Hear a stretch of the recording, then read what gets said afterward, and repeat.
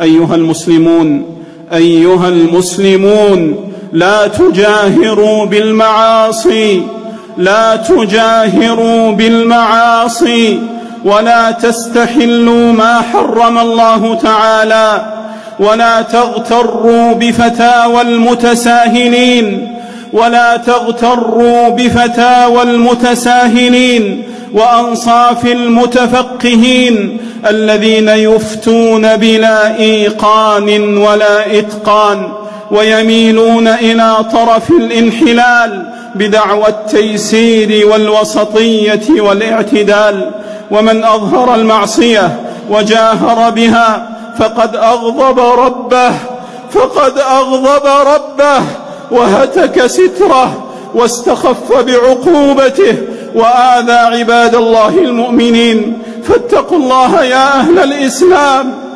فاتقوا الله يا أهل الإسلام. ولا تغتروا بالنعماء والرخاء.